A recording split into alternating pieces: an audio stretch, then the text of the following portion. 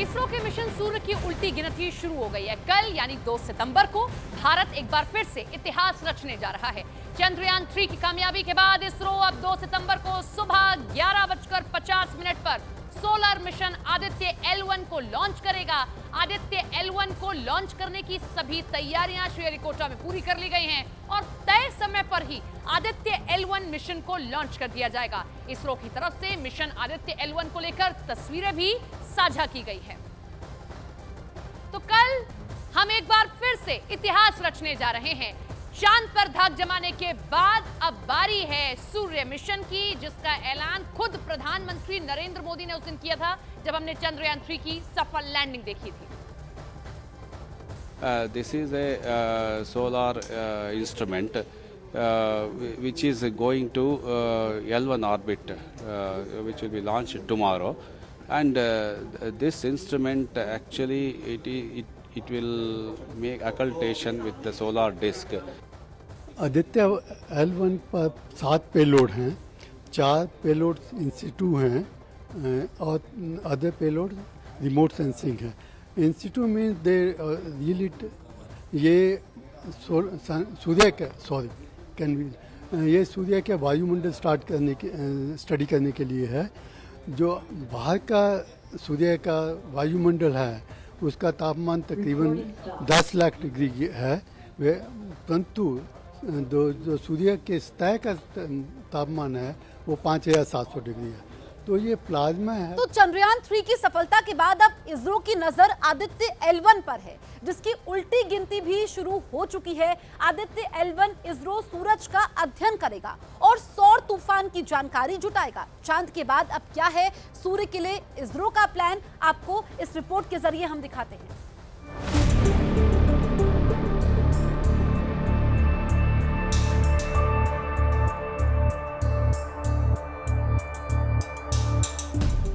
भारत का मेगा अभियान, मिशन सूर्ययान।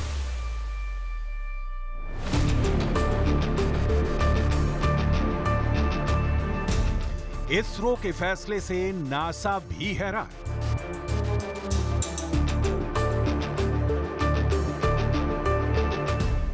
बस थोड़ा इंतज़ार इसरो का सूर्य नमस्कार।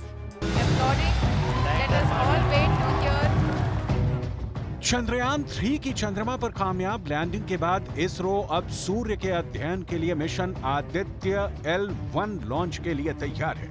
काउंटडाउन शुरू हो चुके हैं। 2 सितंबर सुबह ग्यारह बजकर पचास मिनट का समय फिक्स कर दिया गया है। Is Aditya L1 mission that is getting ready at Sriharikota. ये सूर्य की स्टडी के लिए पहला भारतीय अंतरिक्ष मिशन है जो सूर्य का अध्ययन करने वाली पहली स्पेस बेस्ड इंडियन लेबोरेटरी होगी। ये सूर्य के चारों ओर बनने वाले कोरोना के रिमोट ऑब्जर्वेशन के लिए डिज़ाइन किया गया है। मिशन मून के लिए चंद्रयान थ्री ने तीन लाख किलोमीटर की दूरी तय की। सूर्य को समझने के लिए आदित्य एल वन पंद्रह लाख किलोमीटर की दूरी तय करेगा। यहाँ तक पहुँचने में उसे 127 दिन यानी चार महीने से अधिक लगेंगे। एल वन एक ऐसा एक ऐसा जो सन और अर्थ है उसके बीच में एक ऐसा पॉइंट है एक ऐसी जगह है जहाँ पे दोनों की जो गुरुत्वाकर्षण बल है जो ग्रेविटी है उसका इफ़ेक्ट नहीं होता है। उस स्पेशल पॉइंट पे जो है हम इस हमारे ऑब्जर्वेटरी को आदित्य एलवन ऑब्जर्वेटरी को वहाँ पे हम प्लेस करेंगे। हाँ। ताकि और दूसरी खास बात है उस इस पॉइंट की कि इस पॉइंट से हमें सन जो है बिना किसी झंझट के बिना किसी एक्लिप्स के बिना किसी एक्ल्टेशन के पूरे टाइम विजिबल रहेगा। आदित्य यान को सूर्य और पृथ्वी के बीच हेलो ऑर्बिट में स्थापित किया जाएगा। इसरो का कहना है कि L1 पॉइंट के आसपास हेलो ऑर्बिट में रखा गया सैटेलाइट सूर्य को बिना किसी ग्रहण के लगातार देख सकता है। इससे रियल टाइम सोलर एक्टिविटीज़ और अंतरिक्ष के मौसम पर भी नज़र रखी जा सकेगी।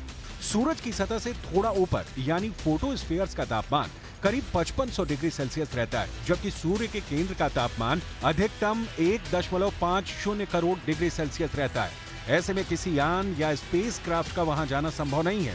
धरती पर इंसानों की बनाई गई कोई ऐसी वस्तु नहीं है जो सूर्य की गर्मी बर्दाश्त कर सके। आदित्य एल के साथ सात पेलोड भी अंतरिक्ष भेजे जाएँगे। ये पेलोड सूरज के प्रकाश मंडल, वर्णमंडल और सबसे बाहरी परत की स्टडी करेंगे। सात में से चार पेलोड लगातार सूर्य पर नज़र रखेंगे, जबकि तीन पेलोड परिस्थितियों के हिसाब से कणों और मैग्नेटिक फ़ील्ड का अध्ययन करेंगे।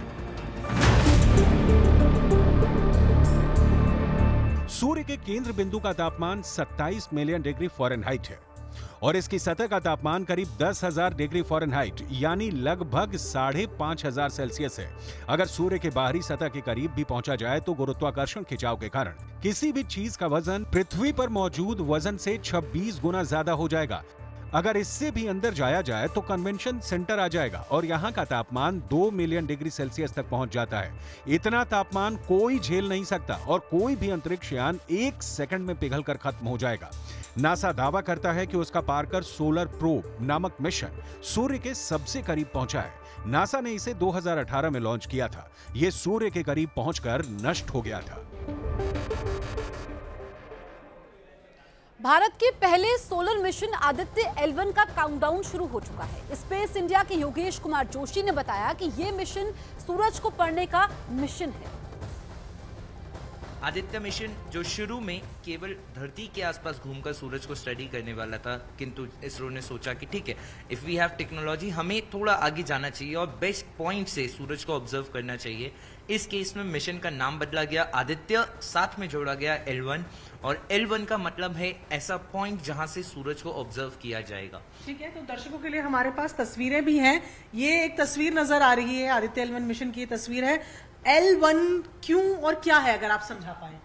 तो मैम एल वन जैसे एल जो शब्द है वो लेग रेंज पॉइंट के लिए बोला जाता है। तो अगर मैं बात करता हूँ सूर्य और धरती, इन दोनों के बीच में कोई ऐसा पॉइंट जहाँ पे ग्रेविटी दोनों बॉडीज की एकदम बैलेंस हो जाए, हमारा स्पेस क्राफ्ट मिनिमम फ्यूल के साथ एक स्टेबल ऑर्बिट में रह पाए और बिना किसी रुकावट के, बिना कोई चीज़ सामने आए, आराम से सूरज को देख सके, वो पॉइंट है आपका एल वन तो आप देखेंगे, सूर्य एकदम बीच में है, ये धरती का ऑर्बिट है जिसमें आपकी धरती घूमती है। इसके साथ इन दोनों के बीच में धरती से करीब 1.5 मिलियन किलोमीटर दूर, लगभग 15 लाख किलोमीटर दूर एक पॉइंट है। L one Lagrange point इस सिस्टम में कुल पाँच पॉइंट होते हैं। हमने एल वन को चुना है क्योंकि वो बिल्कुल धरती और सूरज के बीच में है और बिना किसी रोक टोक के, बिना कोई चीज़ बीच में आए, हमें कॉन्टिन्यूस कवरेज दे सकता है सन का। ठीक है मतलब आ, किसी भी तरीके के एक्लिप्स की बात करें या कुछ और ऑब्स्टिकल नहीं आएगा अगर हम इस पॉइंट पर रहेंगे। ये तस्वीर जरा अगर आप देखें बहुत अच्छे से इसमें समझाया गया है कि ये पूरा अर्थ का ऑर्बिट है। यहाँ अर्थ है यहाँ पर सन है और ये बीच का पॉइंट है। अर्थ और सन के बीच का ऐसा पॉइंट जहाँ से सीधा सन को ऑब्ज़र्व किया जा सकता है। लेकिन सन की जब हम बात करते हैं योगेश तो क्या किस तरीके का है सन कैसा है? जैसे हम देखते हैं एक ऑरेंज कलर का गोला जो हमें नज़र आता है वैसा शांत है? तो मैम, सूरज की हम बात करते हैं। पहले हम शुरुआत करते हैं पुराने समय से, जब हम सूरज को भगवान की तरह पूजा करते थे बिकॉज़ धरती पे जो लाइफ है, वो सूरज की वजह से ही पॉसिबल है। जब तक हमारे पास टेलीस्कोप से ऑब्जर्वेटरीज नहीं थी, तब तक हम समझते थे, सूरज एक ऑरेंज बॉल की तरह आपको नज़र आता है। किंतु, जब हमारे पास ऑब्जर्वेटरीज आई, हमने सन को स्टडी करना शुरू किया तो हमें ये समझ आया सन एक स्टेबल बॉडी नहीं, एक स्टेटिक नहीं it's a very dynamic body जहाँ पे हर सेकेंड तूफ़ान आ रहे हैं किस चीज़ के तूफ़ान? गैस के तूफ़ान। सो so, सूरज बना हुआ है आपका प्लाज्मा से जो बहुत ही ज़्यादा हॉट आयनाइज गैस है। अब अगर आप उसका सूरज का अगर आप एक पिक्चर देखते हैं तो हम जो देखते हैं वो हमें दिखता है एक ऑरेंज कलर का गोला। लेकिन आप अगर सूरज के बिल्कुल पास जाते हैं तो आपको समझ आएगा कि वहाँ पे हर सेकेंड मिलियंस ऑफ़ फ्यूजन हो रहा है टेम्परेचर बहुत ज़्यादा है मैग्नेटिक फ़ील्ड इधर उधर जा रही है। और उसका जो प्लाज्मा है वो एक पॉइंट से दूसरे पॉइंट तक कॉन्टिन्यूसली मूव कर रहा है। हर सेकेंड में वहाँ से लाखों पार्टिकल इजेक्ट हो रहे हैं। इसरो के मिशन सूर्य की उल्टी गिनती शुरू हो चुकी है। इसरो ने मिशन का लॉन्च करने की तैयारी भी पूरी कर ली है। अब हम लॉन्च के बारे में कुछ जानकारी आपको देते हैं और बताते हैं। विस्तार से आपको समझाने की कोशिश करते हैं कि यह मिशन सूर्य कैसे होगा। इसरो का मिशन सूर्य लॉन्चिंग में पीएसएलवी एक्सेल रॉकेट का इस्तेमाल किया जाएगा, जो भारत का सबसे दमदार और सबसे भरोसेमंद रॉकेट है पीएसएलवी उसका इस्तेमाल किया जाएगा।